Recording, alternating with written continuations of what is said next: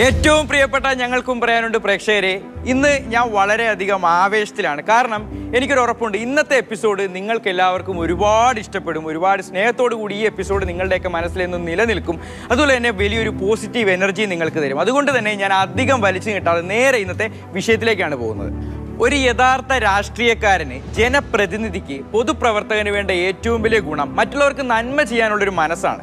എന്നാൽ ഒരു രാഷ്ട്രീയക്കാരനല്ലാതെ ജനപ്രതിനിധി അല്ലാതെ മറ്റൊരാൾക്ക് വേണ്ടി അവരുടെ മുഖത്ത് പുഞ്ചിരി വിരിയിക്കാൻ അവരുടെ മനസ്സിന് സന്തോഷം പകരാൻ കഴിയുന്ന തരത്തിൽ നന്മകൾ ചെയ്യുന്ന ഒരുപാട് ആളുകൾ നമുക്ക് ചുറ്റുമുണ്ട്.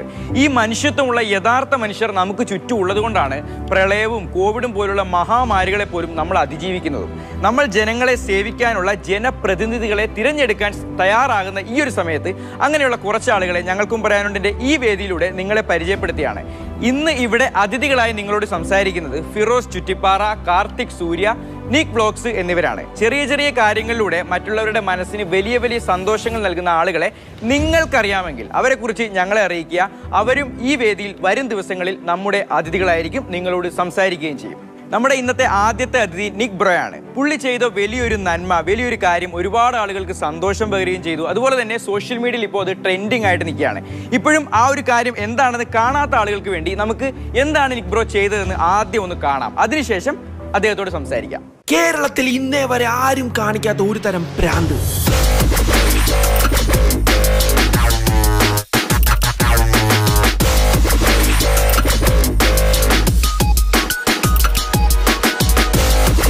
റിസ്ക് ഫാക്ടറും ടൺ കണക്കിന് സപ്പോർട്ടും വേണ്ട ഒരു കൈവിട്ട കളി.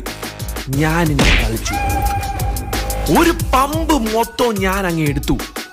നാട്ടുകാർക്കും നമ്മുടെ ഓട്ടോ ചേട്ടന്മാർക്കും രണ്ടര ലിറ്റർ വീതം ഇന്ധനം കൊടുത്തു. അതും ഫ്രീ ആയി അപ്പോൾ നിങ്ങൾ വീഡിയോ കണ്ടല്ലോ പെട്രോളിന് ഓരോ ദിവസവും വില വർദ്ധിച്ചുകൊണ്ടിരിക്കുന്ന ഈ ഒരു സമയത്ത് ഒരു പെട്രോൾ പമ്പ് ഒരു ദിവസം മൊത്തത്തിൽ സ്വന്തമായിട്ട് എടുക്കുക എന്നിട്ട് അവിടെ വരുന്ന എല്ലാ വണ്ടിക്കും ഫ്രീ ആയിട്ട് പെട്രോൾ അടിച്ചു കൊടുക്കുക. ഏറ്റവും അഭിമാനമുള്ള ഒരു കാര്യം എന്താണെന്ന് വെച്ചാൽ ഈ ഒരു ആശയം നിക്ബ്രോയ്ക്ക് കിട്ടിയത് ഞങ്ങൾക്കും പറയാനുണ്ട് ചെയ്ത പെട്രോൾ സംബന്ധമായ എപ്പിസോഡിലൂടെയാണ്. അത് നിക്ബ്രോ പറഞ്ഞപ്പോൾ ഞങ്ങൾക്ക് ഒരുപാട് അഭിമാനവും സന്തോഷമൊക്കെ തോന്നി. അപ്പോൾ ഈ ഒരു കാര്യത്തിൽ കൂടുതൽ വിശദാംശങ്ങൾ പറയാനായിട്ട് നിക്ബ്രോ നമ്മളോട് ചേരുന്നുണ്ട്. സംസാരിക്കാം. നിക്ബ്രോ ഹായ് നമസ്കാരം. നമസ്കാരം. നിക് ബ്രോ അപ്പോൾ ഞങ്ങൾ എല്ലാവരും വീഡിയോ കണ്ടു. ഈ പെട്രോൾ വിലവർധനയ്ക്കെതിരെ ഒരു പ്രതിഷേധം പോലെ ഒരു നാടിന് മുഴുവനായിട്ടും പെട്രോൾ ഫ്രീ ആയിട്ട് കൊടുത്തു. അപ്പോൾ എങ്ങനെയാണ് ഇതിലേക്ക് എത്തിപ്പെട്ടത്? എന്തായിരുന്നു അതിന്റെ പിന്നിലുള്ള ആ ഒരു കഥ? അതായത് നമ്മൾ കഴിഞ്ഞ ആഴ്ചയിൽ ഒരു വീഡിയോ ചെയ്തിട്ടുണ്ടായിരുന്നു. നമ്മൾ ആലപ്പുഴ ജില്ലയിൽ ഈ വെയിലത്തൊക്കെ അധ്വാനിക്കുന്ന ആൾക്കാർ ഈ പാലം പണിയുന്ന ആൾക്കാർക്ക് വേണ്ടിയിട്ട് നമ്മൾ ഒരു ആയിരം കിലോ തണ്ണിമത്തൻ ജ്യൂസ് അടിച്ചു കൊടുത്തു. ഞാനും കൂട്ടുകാരും തമ്മിൽ എല്ലാവരും കൂടി ചേർന്ന് ജ്യൂസ് അടിച്ചു കൊടുത്തു. അപ്പൊ കുറച്ച് ഓട്ടോ ചേട്ടന്മാരെ കാണാനിടയായി. അപ്പൊ അവരുടെ എന്താ പരാതികൾ. പരാതികൾ അവരുടെ വിഷമങ്ങൾ അവർ പറഞ്ഞു മോനെ നമുക്ക് എന്താ പറയാ ഈ ഒരു സമയത്ത് നമുക്ക് എന്താ പറയാ വണ്ടിയിൽ ലോൺ ഉണ്ട് പിന്നെ പെട്രോളിന്റെ വർധന ഓട്ടം കിട്ടുന്നില്ല. പിന്നെ കൊറോണ ഇതെല്ലാം കൂടി വന്നപ്പോഴത്തേക്കും എനിക്ക് തോന്നി ഇവർക്ക് കൊടുക്കേണ്ട ജ്യൂസ് അല്ല. അവർക്ക് എന്ത് ചെയ്യാൻ പറ്റും എന്ന് ഇങ്ങനെ മനസ്സിൽ ഇങ്ങനെ ആലോചിച്ചിരിക്കുമ്പോഴാണ് നമ്മുടെ ആ, അന്തു ബ്രോന്റെ ഈ പ്രോഗ്രാം കണ്ടത്. അപ്പൊ അതിന്റെ അകത്ത് ഞാൻ ഇത് കേട്ടപ്പോൾ എനിക്ക് അപ്പ സ്ട്രൈക്ക് ചെയ്തു. ഇവർക്ക് കൊടുക്കേണ്ടത് നമുക്ക് പെട്രോൾ ആണ്. പെട്രോളോ ഡീസൽ നമുക്ക് എത്തിക്കണം എന്ന് മനസ്സിലൊരു ആശയമാണ്. അന്ന് തൊട്ട് ഞാൻ ഒരു ഒരു എന്താ പറയാ ഒരു റിസർച്ച് മോഡിലോട്ട് പോയി. എന്ന് വെച്ചാൽ ആദ്യമ നമ്മളൊരു മുന്നൂറ് നാന്നൂറോളം ബോട്ടിൽസ് വാങ്ങിച്ചിട്ട് അവർക്ക് ഓരോ സ്റ്റാൻഡിൽ കൊണ്ട് സപ്ലൈ ചെയ്യാൻ ഓർത്തു. പക്ഷേ ഈ റൂൾസും റെഗുലേഷൻസും കാരണം നമുക്കത് പറ്റത്തില്ല. പിന്നെ ഒരു ബാരലിൽ അല്ലെങ്കിൽ കണ്ടെയ്നർ എടുത്തിട്ട് നമുക്ക് സപ്ലൈ ചെയ്യാൻ ഓർത്തു. പക്ഷേ ഇലക്ഷൻ ടൈം ആയതുകൊണ്ട് ഇസ് അഗെയിൻസ്റ്റ് ലോ സോ പക്ഷെ എനിക്ക് ഇത് കൊടുത്തേ പറ്റത്തുള്ളൂ. എനിക്ക് എൻഡ് റിസൾട്ട് ആയിട്ട് ഇവർക്ക് അത് കൊടുത്തേ പറ്റത്തുള്ളൂ. ആ ഒരു ഇത് വന്നപ്പോഴത്തേക്കും നമ്മളൊരു ഒരു പമ്പ് അത് തീരെ തിരക്കില്ലാത്ത ഒരു പമ്പ് അപ്രോച്ച് ചെയ്തു. അവിടെ മാനേജർ സംസാരിച്ചപ്പോൾ അവരുടെ കിളി പോയി. കിളി പോയി കഴിഞ്ഞാൽ പുള്ളിക്കാരൻ പറഞ്ഞു എന്റെ നിഘണ്ടുവിൽ പെടുന്ന സാധനമല്ല.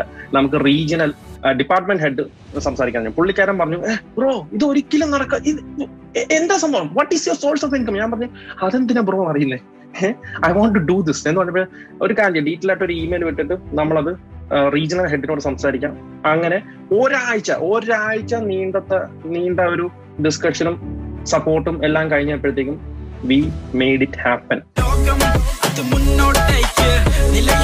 പിന്നോട്ടേക്ക്. ഞാനും അതിൻ പിറകെ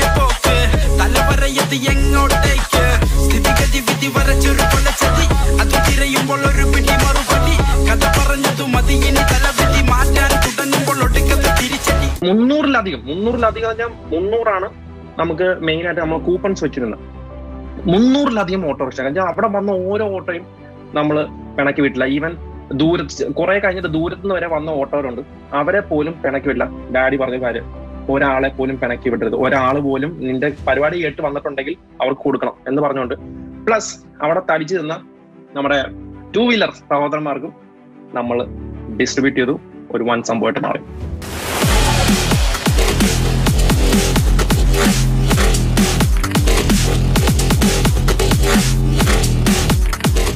ബ്രോ അപ്പൊ അന്ന് അവിടെ വന്ന ഓരോ വണ്ടിക്കും എത്ര രൂപയുടെ പെട്രോൾ വെച്ചിട്ടാണ് അടിച്ചു കൊടുത്തത് ഏകദേശം നമ്മൾ രണ്ട് ലിറ്റർ സോറി ഇരുന്നൂറ് രൂപയ്ക്ക്. രണ്ടേ കാൽ ലിറ്റർ ഡീസൽ ഓർ പെട്രോൾ ആണ് കൊടുത്തത്. പിന്നെ ടൂ വീലറിന് നമ്മൾ ഒരു ലിറ്റർ വെച്ച് ഒരു ലിറ്റർ അല്ല ഹൺഡ്രഡ് റുപ്പീസിന് വെച്ചാണ് കൊടുത്തത്.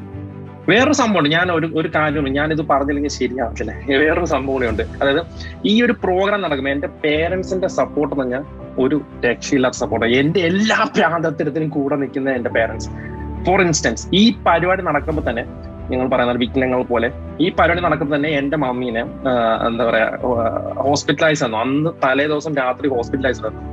എമർജൻസി വാർഡിൽ നിന്ന് പുള്ളിക്കാരി വന്ന് പറഞ്ഞൊരു കാര്യം എന്നെ വിളിച്ചു പറഞ്ഞത് ഇവിടെ നീ നിൽക്കണ്ട നിന്റെ പരിപാടി അവിടെയാണ്. നാളത്തെ പരിപാടി കളർ ആക്കിയിട്ട് നീ വന്നാ മതി. ഐ എം ഓക്കെ എന്ന് പറഞ്ഞാണ് മമ്മി പോയത്. So big shout out to my parents ഒരു രക്ഷയില്ല. എല്ലാ ഭ്രാന്തത്തിനും കൂടെ നിൽക്കുന്ന എന്റെ പേരൻസ് മൊത്തം ഈ ഒരു സംഭവം ചെയ്യുന്നതിന് വേണ്ടിയിട്ട് കയ്യിൽ നിന്ന് എത്ര രൂപ ചെലവായിട്ടുണ്ടാവും? ചെലവ് ഏകദേശം ഒന്നിനടുത്തായിട്ടുണ്ട്. ഞാൻ അങ്ങനെ കറക്റ്റ് കണക്ക് ഒന്നിനടുത്തായിട്ടുണ്ട്.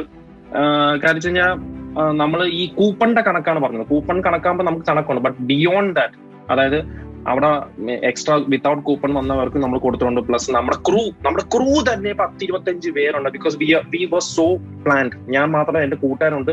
കേരള പ്രവാസി അസോസിയേഷൻ ഉണ്ട്. എല്ലാവരും കൂടി ചെന്നൊരു ക്രൂ എല്ലാവരുടെയും പെട്രോൾ എന്റെ വണ്ടി ഒഴികെ ബാക്കി എല്ലാ വണ്ടിക്കും നമ്മൾ അടിച്ചു കൊടുത്തത് ഏകദേശം ഒന്നിനടുത്ത് ഒന്നേ ഒന്ന് ആ റേഞ്ചിൽ വന്നിട്ടുണ്ട്. ബ്രോ ഒരു പ്രധാനപ്പെട്ട ചോദ്യമാണ് ഇനി ഞാൻ ചോദിക്കാൻ പോകുന്നത്. ഇപ്പോൾ ഇലക്ഷൻ നടക്കാൻ പോകുന്നു. പുതിയ എം എൽ എ മന്ത്രിമാരൊക്കെ വരാനായിട്ട് നിൽക്കുന്നു. അപ്പോൾ ഒരു ജനപ്രതിനിധിക്ക് വേണ്ട ക്വാളിറ്റീസ് എന്തൊക്കെയാണെന്നാണ് ബ്രോയ്ക്ക് തോന്നുന്നത്? ഒരു ജനസേവന ആകാൻ വേണ്ടിയിട്ട് ഒരു യോഗ്യത എന്നൊരു സംഭവം വേണ്ട. അത് ജനങ്ങളിൽ ഇറങ്ങിച്ചേരുക അവരുടെ ബുദ്ധിമുട്ടുകൾ മനസ്സിലാക്കുക അവർക്ക് വേണ്ടി അവരിൽ അവരിൽ ഒരു ഒരാളായിട്ട് നിൽക്കുന്ന ഒരാളായിരിക്കും ഓക്കെ ഏത് പാതിരാത്രി ആണെങ്കിലും മതം രാഷ്ട്രീയം ഇതെല്ലാം മാറ്റി വെച്ചിട്ട് അവരുടെ അവരുടെ ഇടയിൽ ഒരു മനുഷ്യനായി ജീവിച്ചു കഴിഞ്ഞാൽ അത് തന്നെ ഒരു ജനപ്രതിയാണ് പിന്നെ ഈ പദവിയുടെ ഒന്നും ആവശ്യമില്ല. എനിക്കറിയുന്ന കുറെ പേരുണ്ട്. ജനസേവനം നടത്തുന്ന കുറെ ആൾക്കാരുണ്ട്. എന്താ പറയാ പദവിയും ഇതൊന്നും പ്രതീക്ഷിക്കാതെ ചെയ്തു കൂട്ടുന്ന സാർ. അതിൽ ഒരാളാവണം.